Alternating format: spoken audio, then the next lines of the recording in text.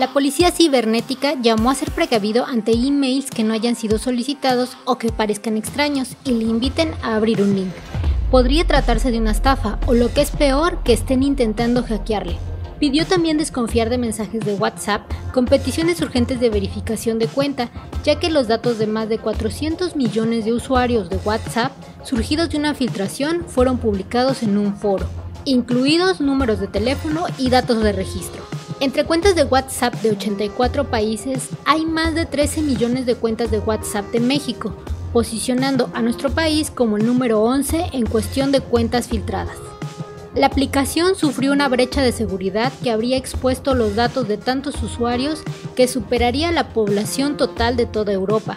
El robo se dio a conocer el 16 de noviembre, cuando un pirata informático publicó un anuncio en un conocido foro de la comunidad hacker.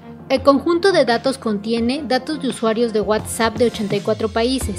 El pirata responsable de la amenaza afirma que hay más de 32 millones de usuarios estadounidenses incluidos, otra gran cantidad de números de teléfono pertenece a los ciudadanos de Egipto, 45 millones, Italia con 35 millones, Arabia Saudí con 29 millones, Francia con 20 millones. Y Turquía igualmente con 20 millones.